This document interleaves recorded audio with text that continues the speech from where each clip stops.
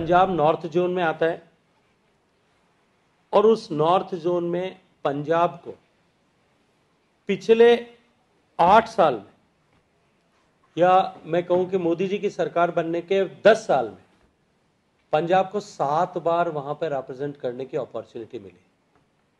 मैं जिस प्रदेश से आता हूँ, उसको केवल तीन बार अपॉर्चुनिटी मिली। ऐसे देश के नॉर्थ ईस्ट के प्रदेश ऐसे भी हैं जिनको कभी बरसों तक, दशकों तक भारत के उस गणतंत्र दिवस की शो परेड में अपने आप को शोकेस करने की परमिशन नहीं मिली थी।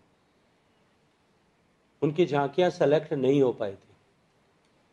गणतंत्र दिवस जैसे सम्मानपूर्ण, गरिमापूर्ण समारोह को इस तरह से पॉलिटिसाइज करने की कोशिश करना, मैं समझता हूँ कि इससे ज़्यादा दुर्भाग्यपूर्ण कुछ नहीं हो सकता। लेकिन इससे आगे बढ़कर के देश के प्रधानमंत्री ने ऐसे सारे राज्य जो सेलेक्ट नहीं हो सकते, नहीं हो पाए, किसी भी कारण से सेलेक्ट नहीं हो पाए, उनके मन में मायूसी न हो और वो लेफ़्ट आउट न महसूस करें इसको देखते हुए। जो एक नई व्यवस्था लाल किले के नीचे पिछले कुछ वर्षों से प्रारंभ की है भारत पर्व के नाम से। क्योंकि गणतंत्र दिवस की परेड में साक्षी होने का अवसर बहुत कम लोगों को मिलता है। गिने चुने, लोग वहाँ देश भर से पहुँच पाते हैं, उनको पासेस मिलते हैं। देश पूरा टीवी के माध्यम से देखता है।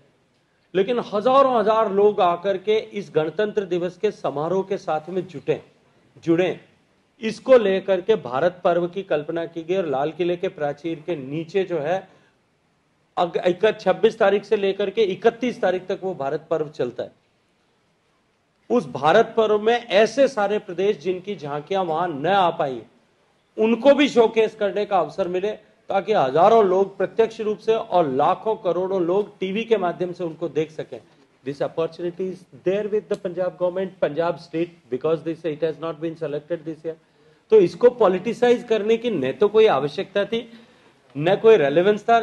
उसको आप शहीद आज़म भगत सिंह के कुर्बानी से जोड़ करके और फिर उसका देश में इस तरह की दुर्भावना व्यक्त को जो है प्रदर्शित करके पंजाब स्टेट के लोगों को इमोशनली आप जो है वो एक्सप्लॉइट करने की कोशिश करें। मैं मानता हूँ कि कम से कम ऐसे अवसरों पर जब देश गणतंत्र दिवस मना रहा हो देश स्वाधीनता दिवस मना रहा हो, हमको इन सबसे बचने की आवश्यकता है इन सब के राजनीतिकरण से दूर करने की आवश्यकता है मेरा व्यक्तिगत विचार